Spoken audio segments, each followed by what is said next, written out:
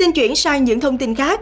Thưa quý vị, vừa qua Bệnh viện Đại học Y Dược Thành phố Hồ Chí Minh đã kết hợp cùng Tổng công ty khí Việt Nam Biviga đã có chuyến khám chữa bệnh, cấp thuốc miễn phí và tặng quà cho 1.000 người dân tại tỉnh Cà Mau và Bạc Liêu.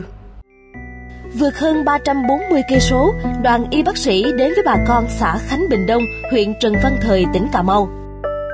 Lúc uh, xuống là, là Cà Mau là phải đi xuồng vào hơn 5 cây số mới vào được cái địa điểm đấy thì thấy ờ, bà con là người ta được là các bác sĩ đến thăm khám ờ, tận nơi.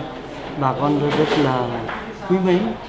Và bản thân mình mình cảm thấy là mình làm được một cái điều mà rất là quý. Sau khi thăm khám, người dân được cấp phát thuốc miễn phí và tặng những phần quà nhu yếu phẩm bao gồm đường, sữa, dầu ăn, nước mắm.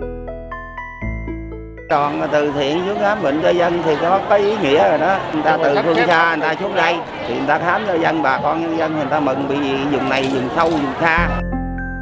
Tiếp đó, đoàn y bác sĩ bệnh viện Đại học Y Dược Thành phố Hồ Chí Minh di chuyển về xã Vĩnh Phú Tây, huyện Phước Long, tỉnh Bạc Liêu, tổ chức khám, cấp thuốc và phát quà cho 500 người dân có hoàn cảnh khó khăn. Hôm nay cái hoạt động của đoàn y bác sĩ bệnh viện Đại học Y Dược Thành phố Hồ Chí Minh à, có đến à, xã Vĩnh Phú Tây khám bệnh cho cái đối tượng cũng như là hộ nghèo thay mặt quỹ ban xã Vĩnh Phú Tây xin chân thành cảm ơn các đội ngũ y bác sĩ của bệnh viện. Trong hai ngày thăm khám tại Cà Mau và Bạc Liêu, phần lớn người dân đến khám chữa bệnh là người cao tuổi, nhiều trường hợp gặp các bệnh về xương khớp, tim mạch, đặc biệt là bệnh cao huyết áp. Bản thân tôi là tôi thấy càng đi thì mình thấy càng nên phải đi thêm thêm nữa để mình giúp cho các đồng bào ở cái vùng sâu vùng xa và rất là tội nghiệp.